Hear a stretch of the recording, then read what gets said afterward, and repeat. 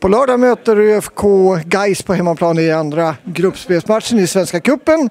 Sam Mensiro, another practice is done. How is it? Yeah, it feels good. I think the boys are ready to uh, to go again on Saturday. So yeah, we just have to help each other on Saturday and make sure that we we win again. Uh, but it's gonna be a difficult game because Gais are good team, you know. So just have to go out there and then do the same thing that we did on uh, on Saturday on Sunday, and hopefully we can get a win.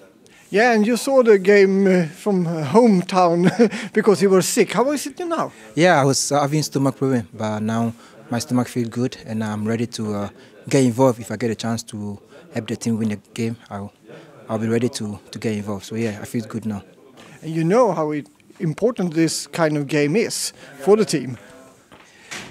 Yeah, I think uh, every game is important. That's what I would say. So, like we just have to take game by game and uh, make sure we do our best and, and, win. You know, it's all about winning. You know, if you don't win, you feel sad, but if you win, then you feel happy. So just have to go out there and do our best and make sure we win on Saturday.